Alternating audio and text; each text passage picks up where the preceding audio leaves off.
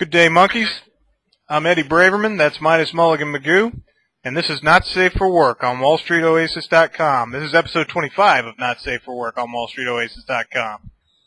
This week we're uh, covering the rapture that wasn't, LinkedIn's crazy first day, and we're taking a look at some of the guns currently leveled at Goldman Sachs and others. So let's do this thing. Well, here it is Monday, and what do you know? We all survived the weekend. That's got to be a real bummer for Robert Fitzpatrick, the guy who blew his entire life savings on billboards urging the rest of us heathens to repent because the end was nigh. Now here's what a couple of smartasses Midas and I are. This video is going up on Monday morning, but we're actually recording this on Friday afternoon. Oh, tell God. I'm spending the entire day tomorrow in the Champagne region on a private tour of one of the France's finest champagne producers. So if it is in, in fact the end of the world, at least I'll be spending my last day doing what I love. What about you, bro? You got any big plans tonight? Uh, well, Eddie, since you know exactly where I am and exactly what I've been up to lately, uh, it's a very loaded question you're asking me here because as much as I'd like to tell, I just can't.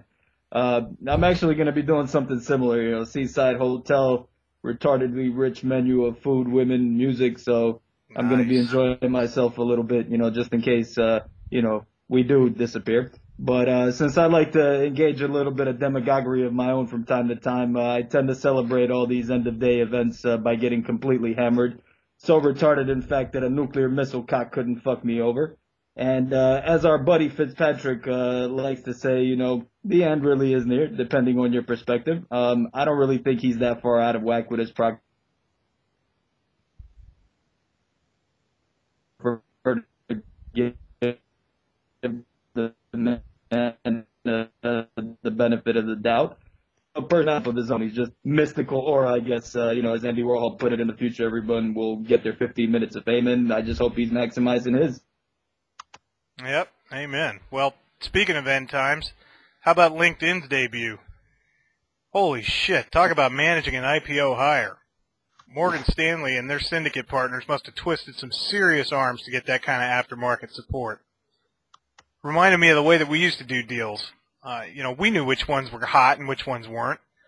And if we knew that we had a hot one coming up, we'd force our clients to buy all the shit deals we had lined up between now and then. Then when the hot deal would come around, we told them that they wouldn't get any unless they committed to buying X number of freely trading shares in the aftermarket, regardless of price, just to pump the deal higher. This deal was crazy. Um, son of a bitch was valued at 11.6 billion when it hit the high high of the day at 122.70.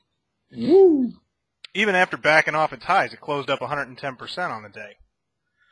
So what do you want to bet that Twitter and Groupon and Zynga and a whole shitload of lesser players file to go public next week after this shit show?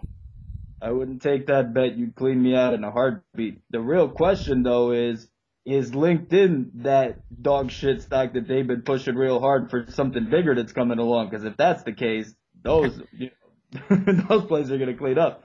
But uh, actually, like I want to take a, a, a, little bit of a, a, esoteric perspective here on comparing this topic and the first one. Uh, to me, it's almost a testament on how much people need some sort of organized religion. You know, whether we're talking about the end of days cometh, uh, God will smite us all for being sinners, or markets are efficient, Eddie. You're a conspiracy theorist. Morgan right. is doing its underwriting duty and thereby adding much needed liquidity to markets. It's all a big fucking joke. I mean, uh, as our as our buddy uh, Gary V pointed out in that video he posted a while back, uh, we're in the in the midst of a social media bubble. Uh, it'll probably quell and then probably even get even bigger a few years from now. Uh, what just about everyone fails to realize is that when you deal with these non-brick and mortar businesses, revenues are really, really hard to prognosticate since we have no clue what these businesses are going to look like 5, 10, 15 years from now since we have nothing to go off. I mean, exactly. it's always always a matter of opinion and timing. And uh, I recall a, a point some years back, you know, when uh, when the Tesla IPO was in the works and, and everybody was so excited about it and predicting all these great numbers. And then what happened? Market pops. Elon's wife pawns his ass, and you know the IPO goes.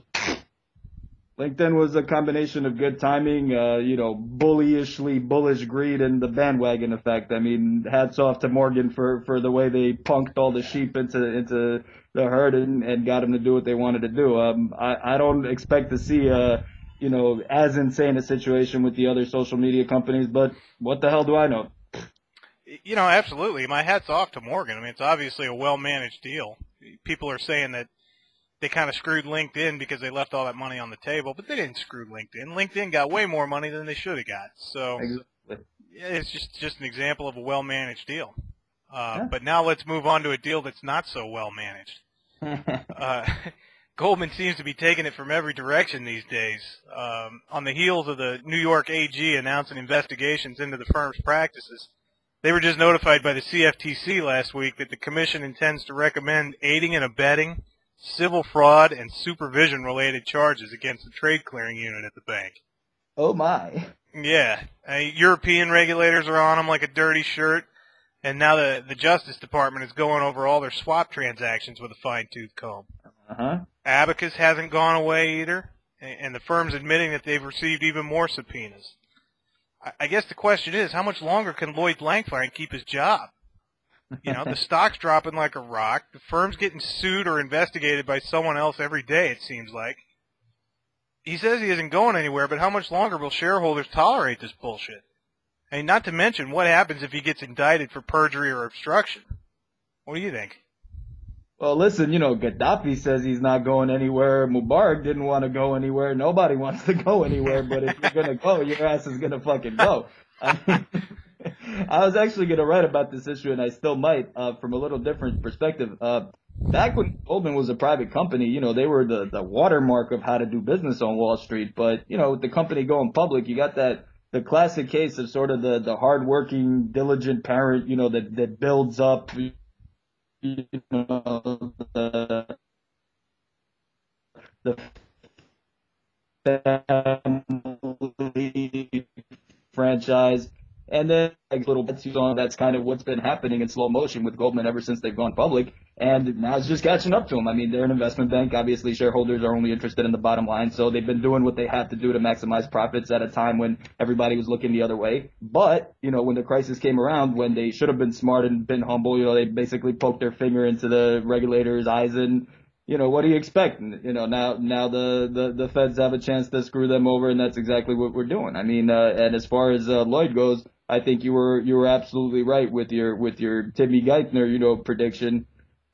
He's probably going to wind up running the show, or or somebody from the government is probably going to wind up taking over Lloyd's position as sort of a trade-off to just leave them alone. I mean, they they giggled, they poked their finger in the jelly belly of the government, and now that the state is coming back for their fa- pound of flesh, uh, not much you can do about it. And like you said, it's coming from all angles, so it's not like they can just you know turn the other cheek. They're going to get punched right back into into center of direction. So much like our buddy DSK, I got no pity for you, Goldman. Made your own bed, now you're gonna sleep in it.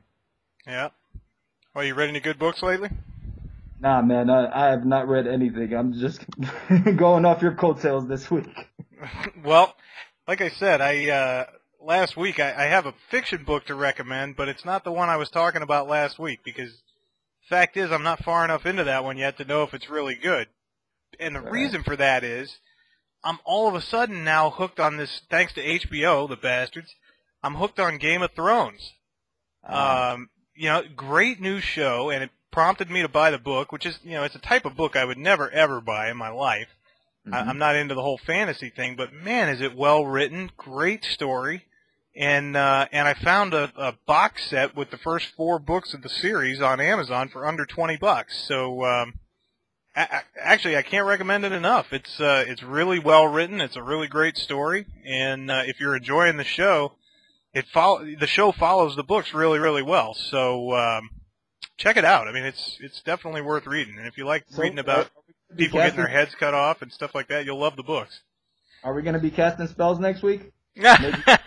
no, no, it's it's not some bullshit Twilight zombie kind of deal. It's uh, at least not so far. It's, Uh, you know, it's all about politics mostly and uh, and warfare. But uh, that's all I got this week. So uh, if you don't have anything else, let's bid these boys uh, farewell. yeah, let's let's go get fucked up. all right, y'all. Keep your powder dry and your heads low, and uh, we'll see you next week on Not Safe for Work. Take, Take care. Easy.